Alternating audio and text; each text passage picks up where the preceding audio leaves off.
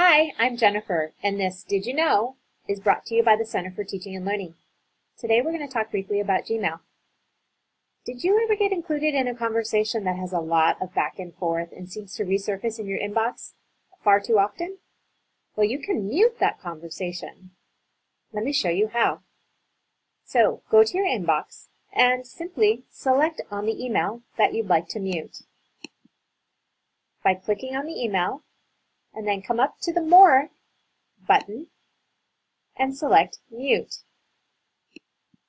And the email will disappear, and it will not reappear in your inbox until you have been re-added directly in the To field or in the CC field.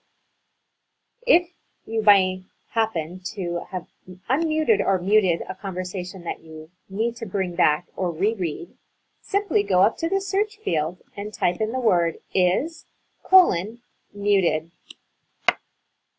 Let that search and it will search for all conversations that you have muted before. And then all you have to do is click on the email and then once again click the more button and then unmute the conversation and it will start reappearing in your inbox again.